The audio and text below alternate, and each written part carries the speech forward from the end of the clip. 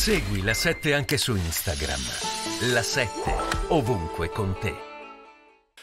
Secondo me oggi se noi promettessimo, noi comunità internazionale, vediamo garantito da chi poi, promettessimo eh, a Putin di congelare l'espansione della Nato ad altri paesi, a cominciare dall'Ucraina naturalmente per Svezia, Finlandia, Svizzera e tutti gli altri paesi candidati, io credo che questo intanto sarebbe qualcosa che Putin potrebbe esibire eh, dicendo eh, ecco abbiamo vinto perché eh, ricorrentemente anche nel discorso di ieri Putin ha detto che la Nato li sta cerchiando, che percepisce questo con una sicurezza una, che hanno dovuto reagire preventivamente. Per no? l'Occidente sarebbe una maniera per mantenere una promessa già fatta e diciamo, non rispettata e non compiuta.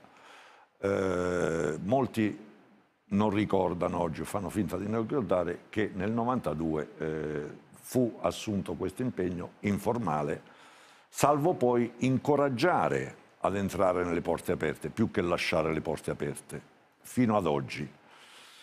Um, sarebbe una maniera anche per eh, applicare l'articolo 10 che prevede i nuovi ingressi, laddove questo articolo 10 del Trattato del Nord Atlantico dice che eh, i paesi eh, candidati che entrano devono comportare un aumento della sicurezza.